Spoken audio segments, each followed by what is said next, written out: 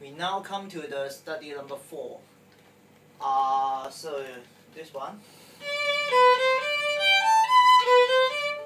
Uh, firstly, uh, when you start to practice this exercise, uh, you can play in groups of notes.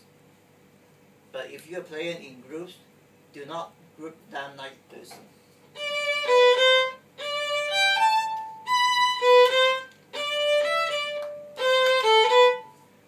Group like that, but rather try to group the notes like this.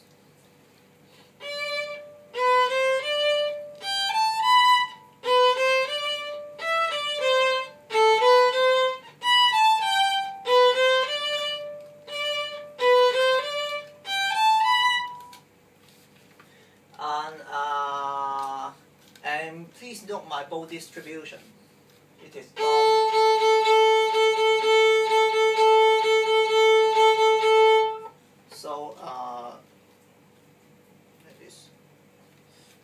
not need to use too much bow for the short notes. If you're using too much bow for them, it's that's too much.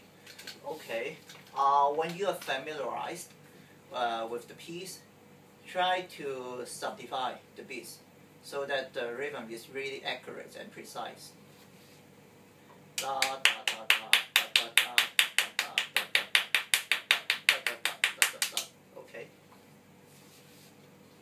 show you the whole piece.